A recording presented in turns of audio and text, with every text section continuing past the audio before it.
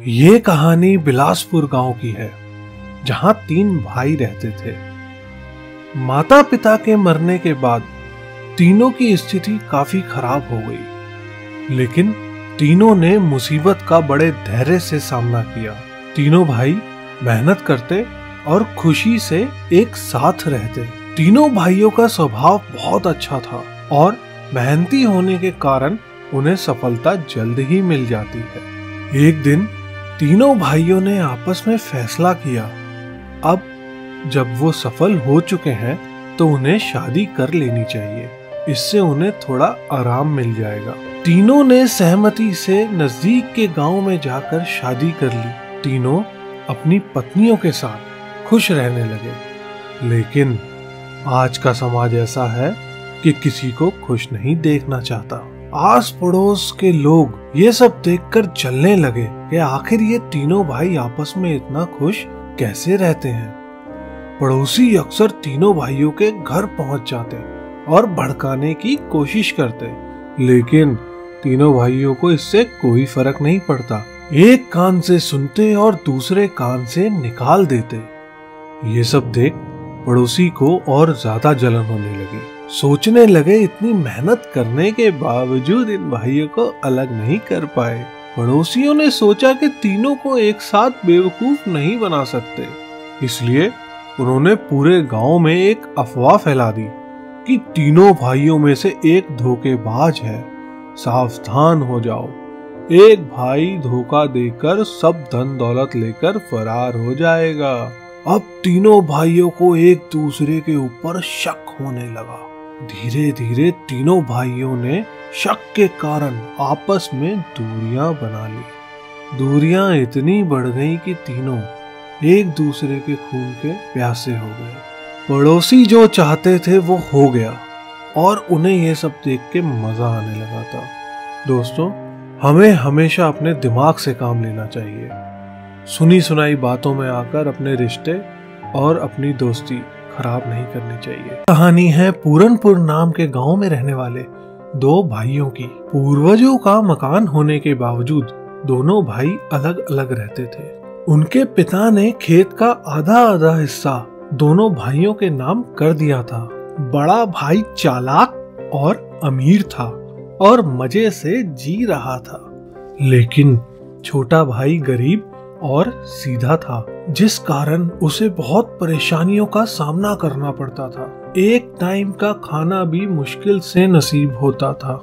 ये सब देखकर छोटा भाई बहुत दुखी रहता। चाह कर भी कुछ नहीं कर सकता था। एक दिन की बात है, बड़ा भाई अपनी पत्नी से बोलता है, अरे सुनती हो, मैं कल शहर जाऊँगा बीज खरीदने और अपने छोटे भाई के लिए भी बीज लेता आऊँगा। तुम्हें कुछ मंगवाना तो नहीं है शहर से। अरे इतनी मेहरबानी क्यों अपने उस भिखारी भाई पे? अरे तुम ना बड़ी सीधी हो। मैं अपने लिए अच्छे बीज लाऊँगा और उसके लिए खराब। हमारी फ़सल अच्छी हो जाएगी और उसकी बिल्कुल खराब।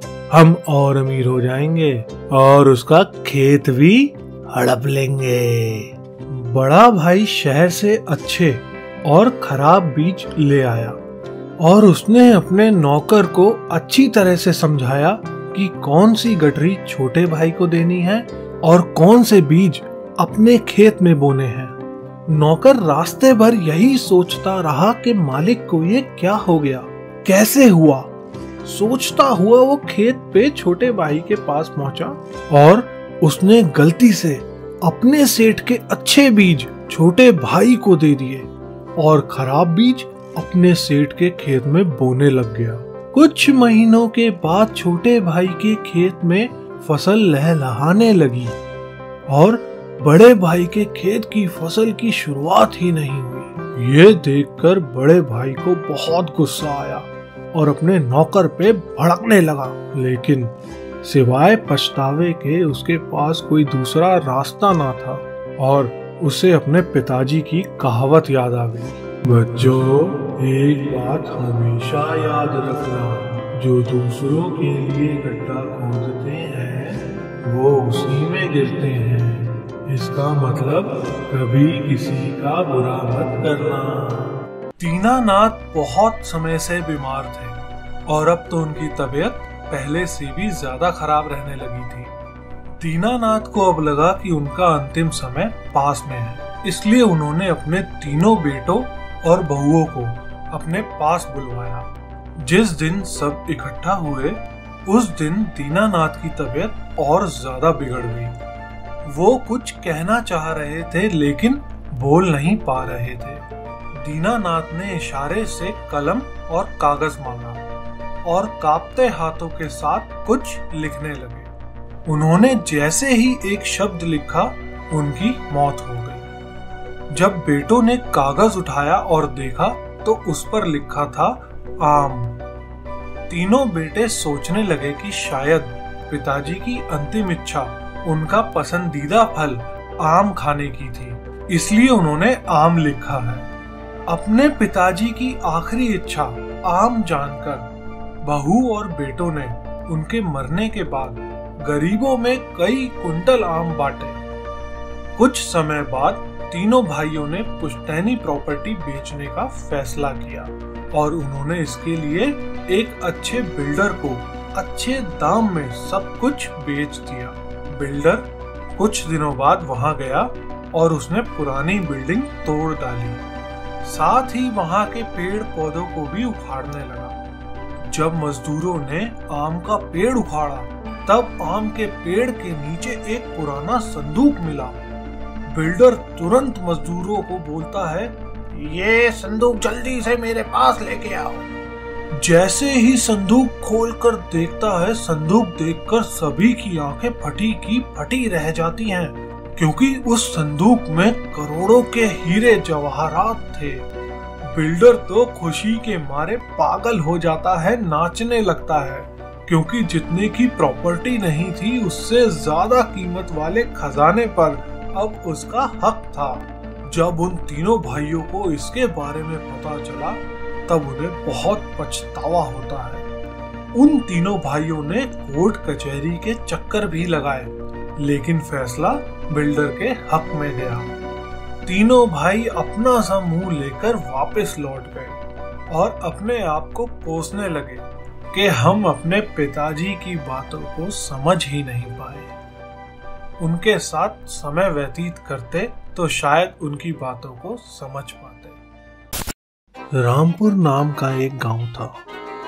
वहाँ हर साल बहुत बड़ा मेला लगता था। मेले का नाम सुनते ही बच्चे खुशी से झूम उठते, क्योंकि मेले में तरह तरह के खिलौने रंग बिरंगी गाड़ियाँ और खाने पीने की चीज़ें मिलती थी।